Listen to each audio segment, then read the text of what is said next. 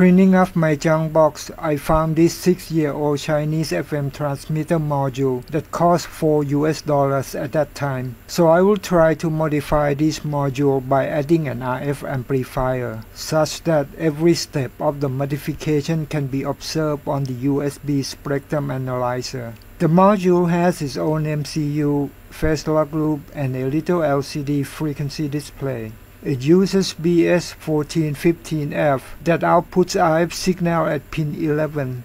I will connect this output signal to my RF amplifier. First, 5 volt power is applied to the transmitter module just to see what kind of RF signal is outputted. No antenna is connected to the module during this measurement.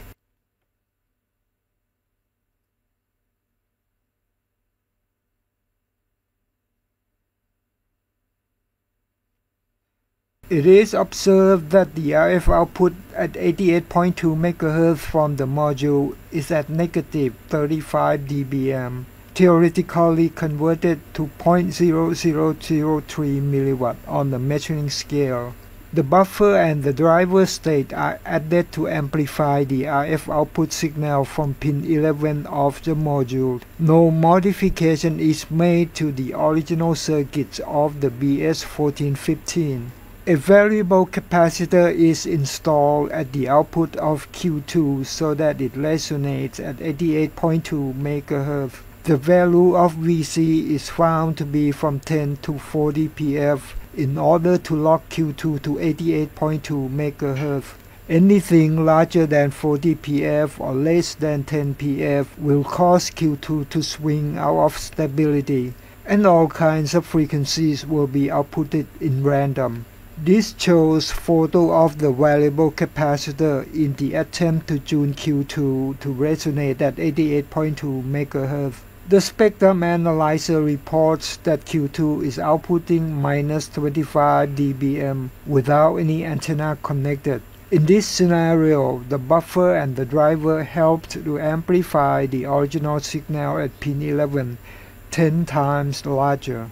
Then the final transistor is added to the driver to amplify the RF signal further before outputting it to the antenna.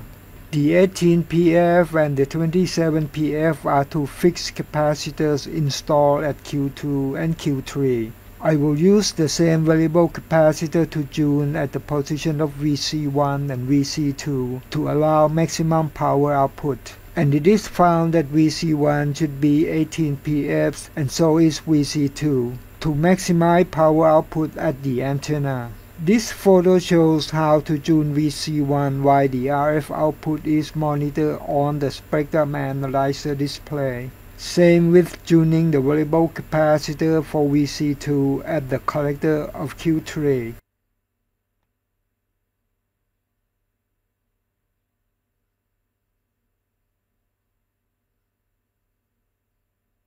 Apparently Q3 with a small rigid antenna can output 0.2 mW on the same scale, which means the final transistor amplifies the RF from the buffer 67 times larger.